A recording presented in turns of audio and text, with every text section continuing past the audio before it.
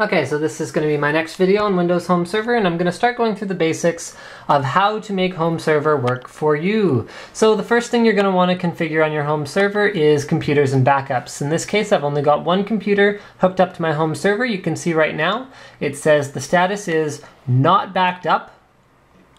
Well, if I could zoom in and focus, that would be terrific right about now.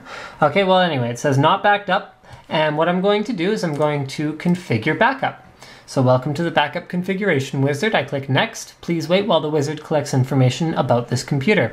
What it's doing right now is it's finding out how many hard drives are on my computer, how full it is, and it's calculating uh, how much space it will take on the home server, etc, etc. Choose the volumes that you want to back up. So I'm going to back up my system reserved volume as well as my C local disk.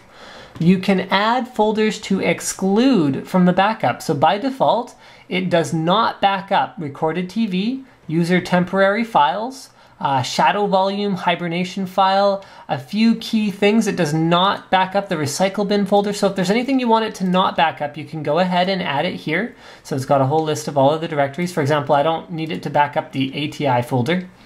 You know, there's something I don't need it to back up. I don't need it to back up the NVIDIA folder. So let's click next. Congratulations, you have successfully configured KPC to be backed up. It was that simple. So now I could run a backup now, but the whole process will probably take about 20 minutes and I'd rather keep filming this video. Um, but you can also, okay, configure backups. Hold on a second.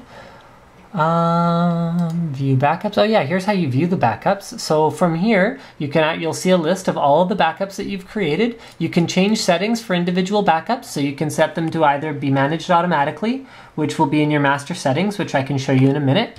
You can set it to keep this backup forever or delete it the next backup cleanup. Now, if you highlight one of the backups and click details, you can actually browse the entire backup of your hard drive from this Windows Home Server console, you can drag and drop files onto your desktop, and it is a terrific way to get back, you know, uh, your mom's Word document that she accidentally deleted, uh, because it will it will keep it for as long as you tell it to keep the backups.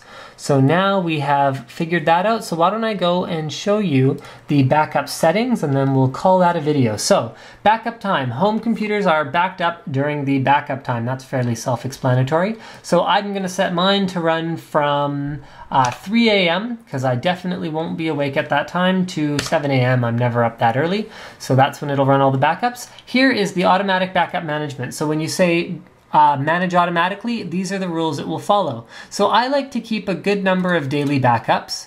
Uh, I don't particularly care about the weekly backups because I, I rarely go into those. And then I like to keep a good number of monthly backups as well. Something about the backups though is that it does not use up the full, like this computer has 100 gigs used on the drive. It doesn't use up 100 gigs every time you back up. It only rebacks up the data that has actually changed. So storing a bunch of backups of the same computer, if you're not completely formatting and then refilling your hard drive with completely different stuff, actually won't take up a ton of space. There's also a button here to repair the backup database if it becomes corrupted. This can happen if a hard drive fails, but it's not a huge deal.